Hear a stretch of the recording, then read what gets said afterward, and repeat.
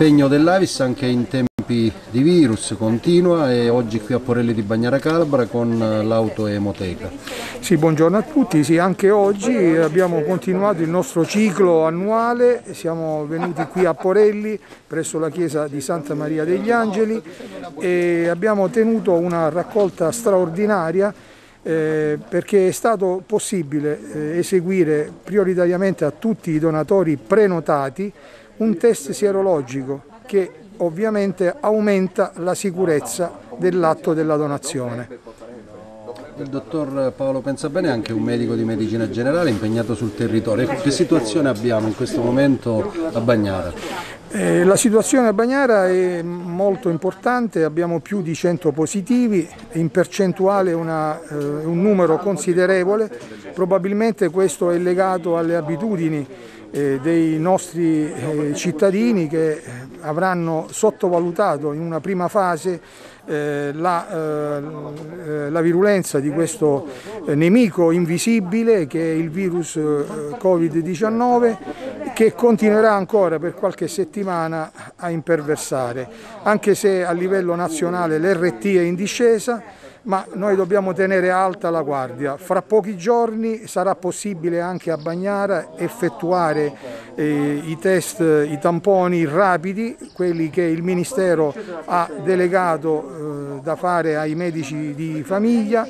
Stiamo lavorando insieme a tutti i colleghi per creare un team con un protocollo da adottare per mettere in sicurezza attraverso un'attività di tracciamento importante tutta la popolazione. E in questo devo dire ci sono molto vicine le istituzioni, il Comune, l'ASP, ma anche la Prefettura, che hanno cercato in queste settimane di colmare eh, le difficoltà organizzative di un territorio che purtroppo negli anni è stato spoliato ed è stato depotenziato. Oggi infatti eh, la nuova ondata di coronavirus ha evidenziato nuove e importanti ragioni di impegno per dare più forza al territorio e quindi agli attori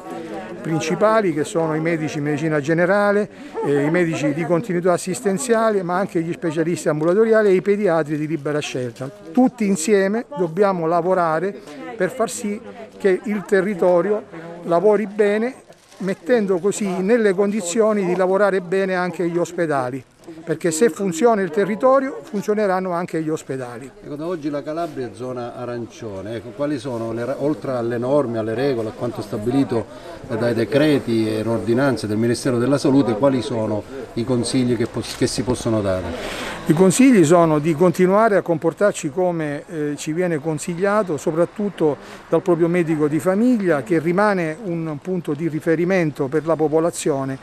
perché così facendo noi daremo più sicurezza a tutte le attività e quindi eviteremo di creare dei danni eh, all'economia e quindi sbloccheremo quello che possiamo ormai dire a, a, pieno, a piene parole, la situazione anche eh, strutturale dei nostri territori che sono già poveri e che quindi hanno bisogno di una eh, apertura e quindi di una messa in sicurezza che consenta la ripresa di tutte le attività. Ecco, l'Avis non solo raccolta sangue, sensibilizzazione per quanto riguarda la donazione, ma anche eh, per, i sieri, per il siero iperimmune. Sì, si è parlato tanto in questi ultimi mesi eh, del ruolo dei donatori che hanno avuto il coronavirus e che quindi possiedono nel loro sangue eh, gli anticorpi protettivi per questa importante infezione. Dobbiamo dire che molto si sta facendo anche a Reggio Calabria, col grande ospedale metropolitano che sta curando la raccolta di questi soggetti,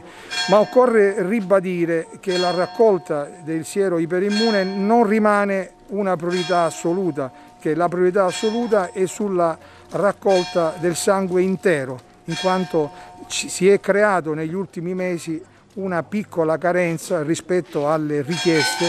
E pertanto invito tutti i donatori a continuare a donare non solo per l'aspetto eh, del siero immune ma soprattutto per l'aspetto del sangue intero perché da quello poi si può trarre anche l'eventuale trattamento di tutte quelle patologie che rientrano